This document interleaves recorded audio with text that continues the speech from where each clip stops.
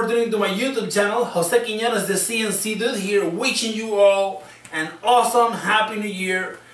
And I hope that 2015 is an excellent year for all of you.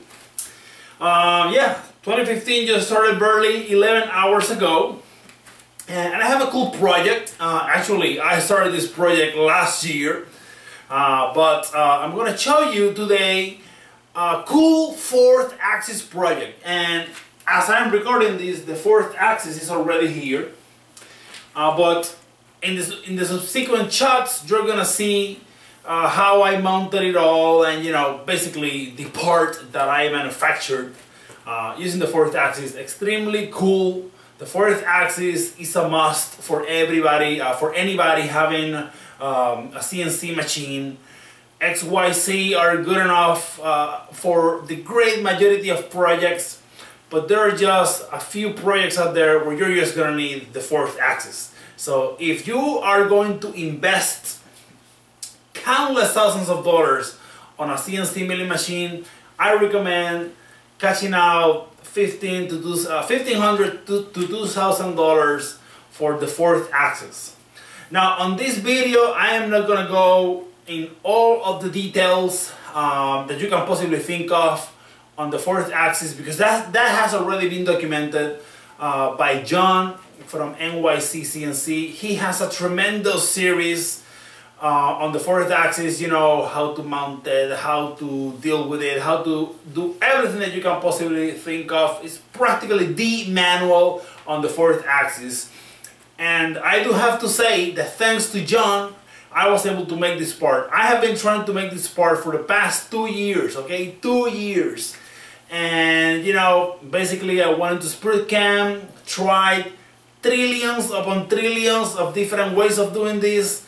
I sent the part to forums to uh, Tormach and nobody could figure this out until I saw one dinky little piece of information uh, on John's video and bam right there hyperspace.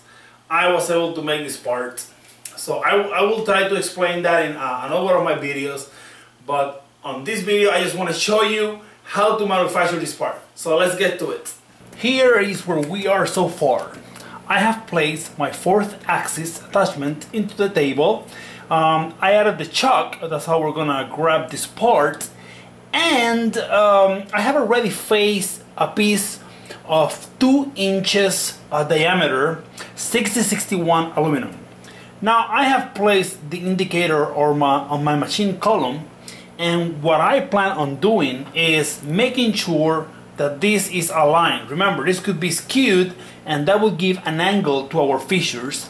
Um, it wouldn't be the end of the word, but I prefer not inducing such a mistake. Let me try to see if I can show you the indicator. Please excuse the uh, jumpiness here. It's gonna be tough like hell. I think the slide is not helping. All right. The uh, I have already I already have it in zero, and what's gonna happen is I'm gonna move it on on X. So as I traverse on X, my needle should deflect. And there is a little bit of a play, so I'm gonna knock it and then um, just just slightly just to remove that I believe that's a, a mil a thousandth of an inch offset. And uh, I'm gonna do it I'm gonna do that off camera but you get the idea. You keep on doing that until you see your needle on zero as as the traverse. Otherwise you will be putting an angle you will be putting an angle on the fissure.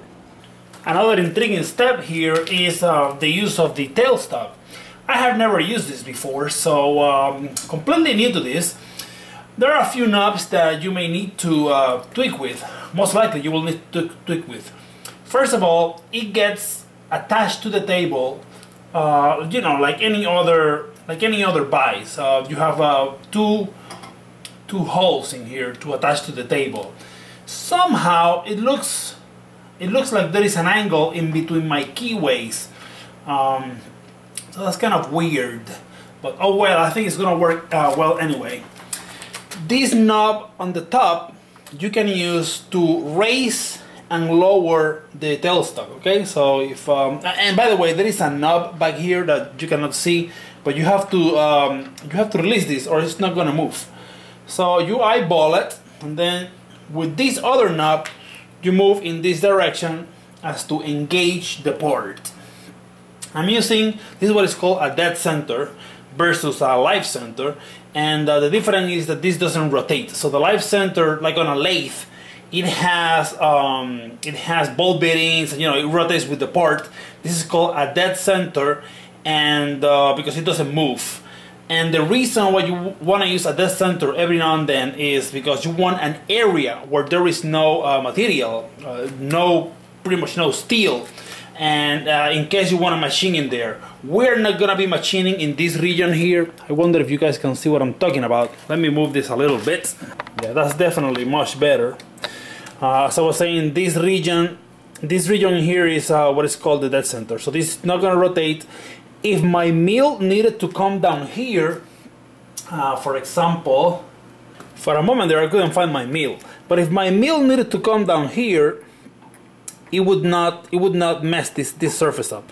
And remember, uh, most likely we're gonna be working on the top. So you will want this guy on the top. If you're to be doing something like a gear and you're working from this side, then you have to move this guy to the other side.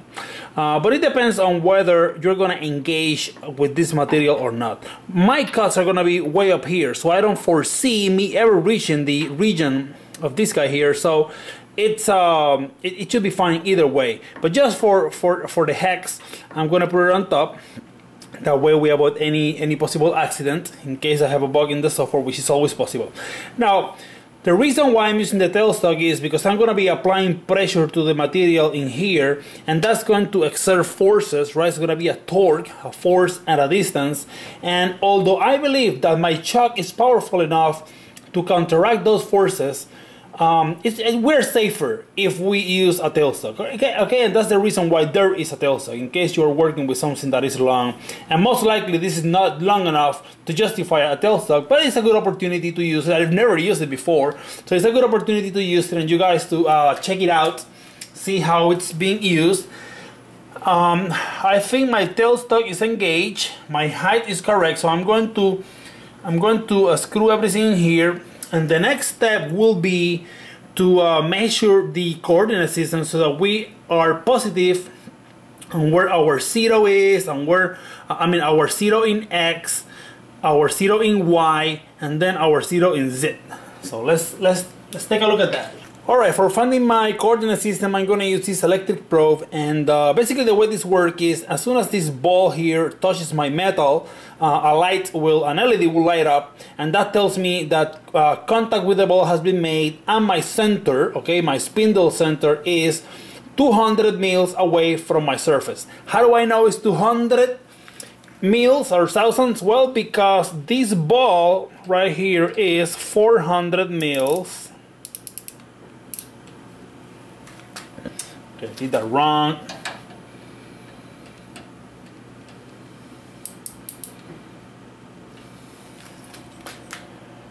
Point three nine nine nine.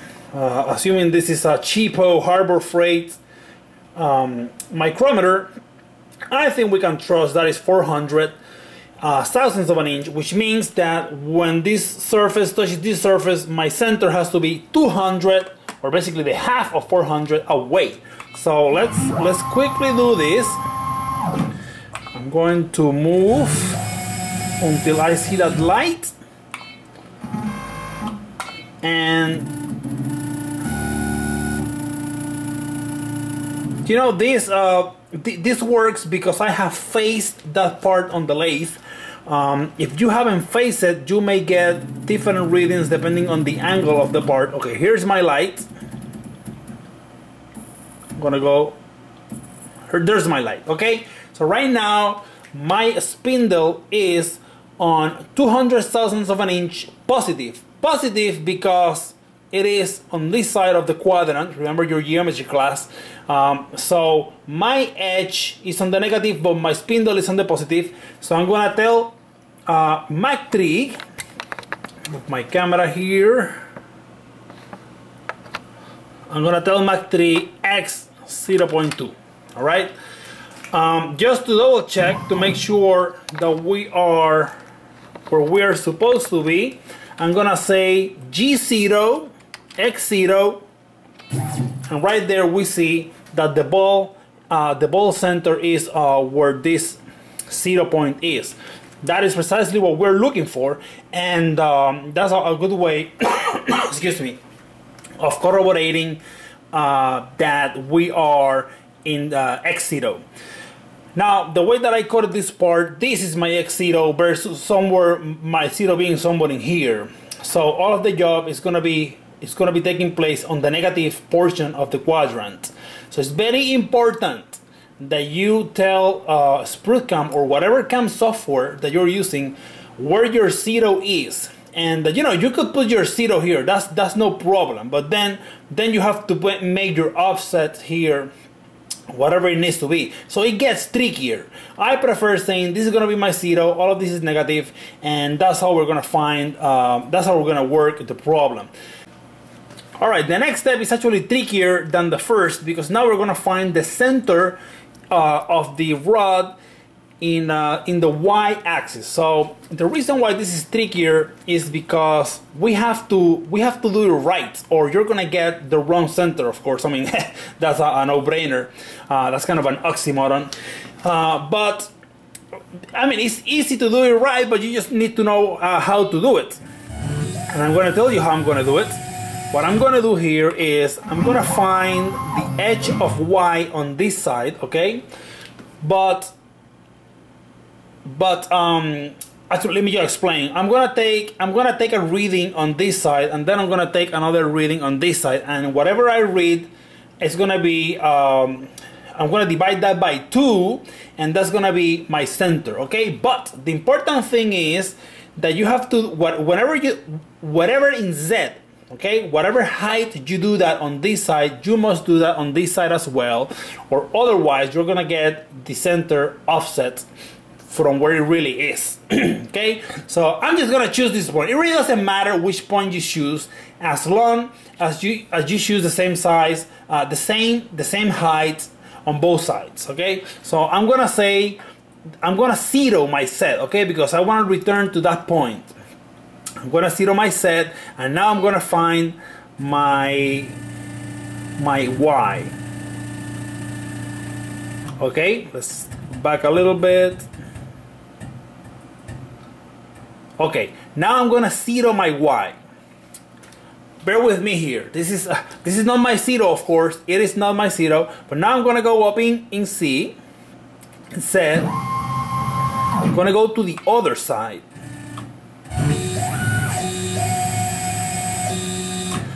And I'm gonna tell my system to go back to set zero by typing in G0 set zero. Hopefully I'm not gonna clash. You know what, I cannot do it there because I'm gonna clash. Let me move a little bit further. Always check before you do this stuff because once you tell the machine to go, it will go. And if it has to break something in the process, it doesn't care. The machine is not watching after your pocket. It will go. All right, here I think, actually, you know what? Let me do it by hand. I'm gonna go to G0, C0. Okay, and now, now that I know I'm safe, I'm just gonna type it in G0, C0. Okay, now I am on the same place that I was when I was here. So when I touch, I'm gonna be making, um, uh, it's, it's like a triangle. I guess I'll put a, a diagram of what I'm meaning here. And uh, so I'm gonna, I'm gonna move in Y until I see that light. There we go. Okay. Let me just take the exact point where. There we go. Okay. Here's the trick. Okay. According to uh, to uh, Mach 3, we're at coordinate 2.3747. That means that I am at coordinate 2 inches plus the offset of the ball, which is 400 mils. That right there tells me I am not on Z. I am not on the center of the of the of the uh, of the uh, rod, the circle. But that is okay because I'm going to say divided by two. And now I am at coordinate 1.1873 and you're saying, well, that doesn't make any sense. What are we doing here? I'm gonna take this up. This is geometry, guys. and now I'm gonna say G0, Y0.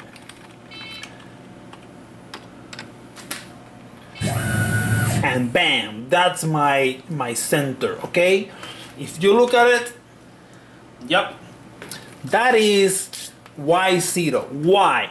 Well, because when we divided by 2 the coordinating here, what we did was compute the distance from this side, uh, from, the, from this border to the center. Now you may be saying, but there is a ball in here. Yes, there was a ball in between uh, or I would say half a ball in between my edge on this side and the spindle. But there was also a ball on this side so they will cancel each out. So if you take your your measurement here and then here at the same height you will cancel balls uh, the ball diameter when you divide by 2 and you will end up with the uh, with the center in Z okay? So that's how you find the center of a rod using this guy and Mach 3 DRO. I have placed my quarter inch diameter 2 flute uh, end mill. We are not done yet. The system needs to know what, where is my Z coordinate and in this drawing uh, or in this part, I made my zero the center of the uh, of the uh, of this diameter. That means that I need to know this diameter in order to give that offset to the tool. So when I come down here, okay, basically my tool is touching. Well, look at that. My light is falling apart. Maybe I have to go back to Tormach. Wow. This is truly the end of it.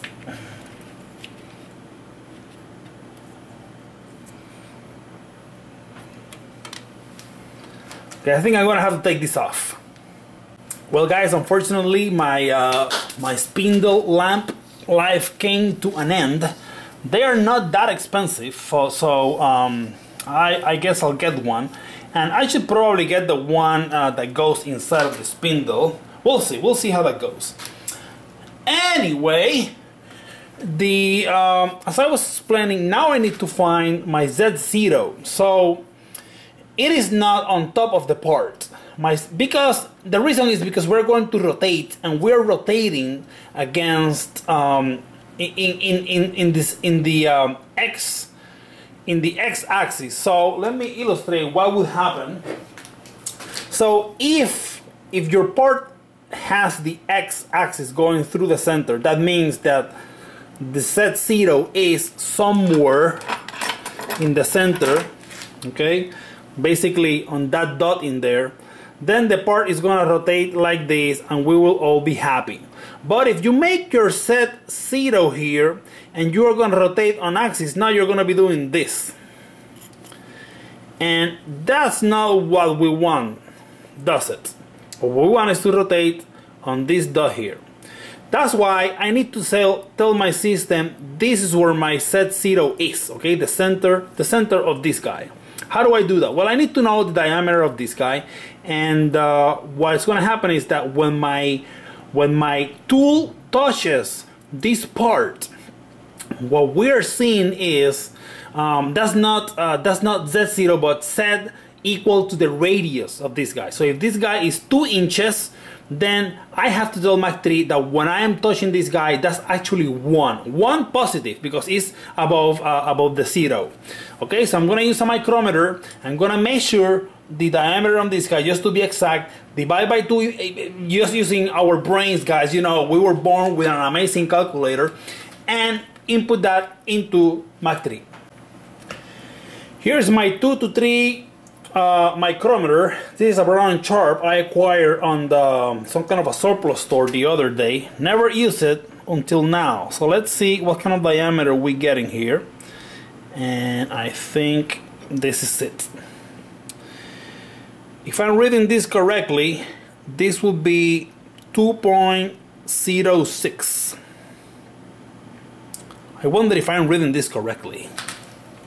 When everything fails, do a a brain fart check. It is. I'll be darned.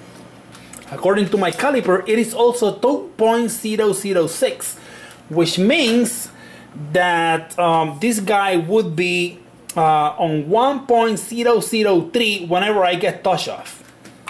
Okay, so I'm gonna take this to what I know is X0. I'm sorry, Z0, which I did I did before. I think I did it off camera. Or actually, that's what I was doing when my light died. My lamp fell.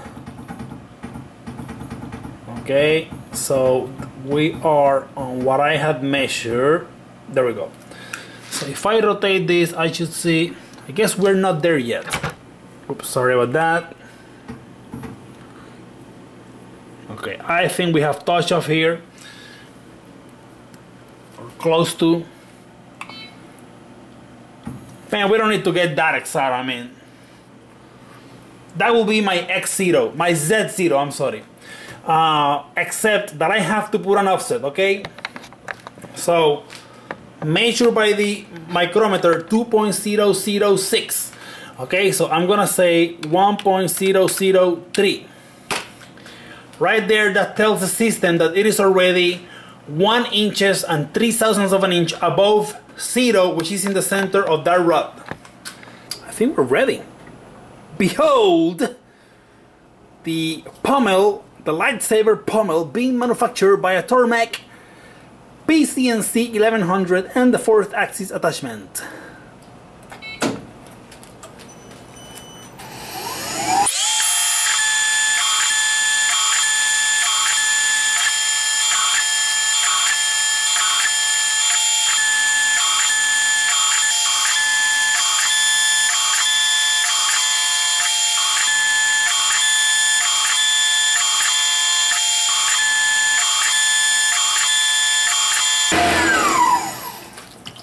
Holy crap it is! I cannot believe it. Unlike Yoda would have said, uh, that's why you failed, but I didn't fail! This is an amazing success. It looks gorgeous. There is no way I would have been able to do this by hand. Now, uh, I haven't removed the part, so I'm just guessing this looks amazing, uh, but uh, I think it does looks amazing. Um, a few a few things that I want to say before I remove it from the chuck. The part looks like it came out, you know, perfect as I was expecting it to be. Although uh, cam doesn't show this output for some reason. I mean, it shows the tool path, which any anybody with any uh, uh, slightest common sense would know it has to be this is the output if, if the if the blade went through here. But for some reason SprutCAM chose uh, stuff left over. So I kind of suspected that that was just you know just some buggy thing. Uh, this is SprutCAM 7 so it's very possible SprutCAM 8, 8 or 9 has improved on those kind of uh, deficiencies. Uh, but I kind of expected that everything was gonna come out perfect just because the SprutCAM chose the tool path and the correct path and the leftover doesn't make sense. So that's good. That's good that the output is as expected. Um, so I'm gonna remove it from the chuck and uh, I, I, think I think there is no need to do any kind of other other um, processing here. I think this is it. Uh, if there was a need to put this back on the chuck to work it again I don't think that's gonna be simple. So that's why I, I, I want to take my time. Uh, but boy I mean by just filling it this is just freaking amazing. So I'll meet you at the other side of removing this part. Wow this is this is just freaking amazing.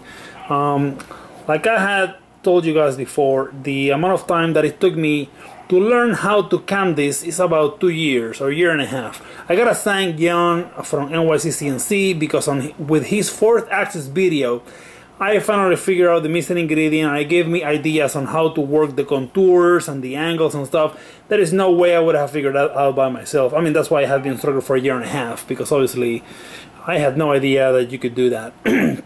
uh, but man, look at this. This is it. This is the pommel of a lightsaber, or at least the profile that we need. Now what I'm gonna do is put it on the lathe and give it the, the um, give it just the traditional shape, which is something like this. Right, I mean obviously we're gonna cut all of this and we're gonna make it look like a lightsaber pommel and it is very possible that the reason why I did that did it like this is because I can make two out of this one so very pleased with this. Very pleased. Alright friends. I am blown away. This is truly a lightsaber pommel okay? This looks amazing. And there are still a few steps that I need to uh, to take uh, on the lathe a few operations to finish it. But the fourth axis operations were amazing I am just blown away by, by how it came out. It looks gorgeous. I think it will it will look gorgeous on a lightsaber prop. Um, and you know, basically, to make this with a fourth axis would have been very hard. You could do it with uh, uh, some kind of an indexer. You could have done it by hand, of course. I mean, it could have been done.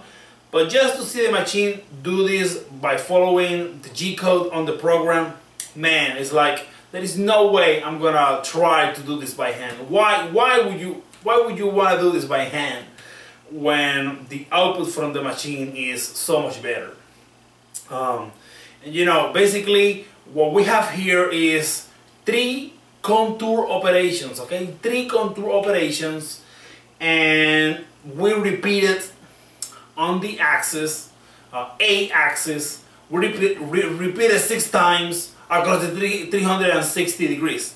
So the software does it all. You don't have to worry about uh, computing angles and offsets. the software does it all once you use the right the right uh, mechanism. So the reason why it took me two years to get here is because I wasn't updating the angle. I had no idea that you had to do that, and, and that's why um, whatever I tried didn't work. But now I know how to do it. I am blown away by the results. So this looks very good. Um, I'll definitely make more. And uh, you know, there'll be other videos on how I finish this uh, lightsaber replica. And there's plenty of work to be done here. So there will be much more videos. I mean, uh, there is plenty of material here for like a, a, either half a year or a whole year worth of videos. Uh, because uh, the, the level of intricacies on these props can get as, as nitty gritty as you want. It's basically, uh, you can just make something that looks like a lightsaber from the outside, but you can also work on how to make it look cool from the inside. So I plan on, on playing with that a little bit. And then again, there are many other uh, lightsabers that can be constructed, um, you know, from the movies or just your own versions it's it's infinite. It's an infinite uh, generator, an infinite project generator. So I think the fourth axis will come in very handy uh, for projects like this. And like I said, I mean, you could do this by hand, but man, it's just so much easier with the fourth axis. Uh, so thank you Tormach for uh, allowing us to have a fourth axis CNC milling machine uh, that actually works. And I thank you for tuning into my, uh, my YouTube channel. Definitely thank you for taking a look at this video. I hope you have enjoyed uh, the fourth axis project and the generation of this lightsaber pommel. See you next time.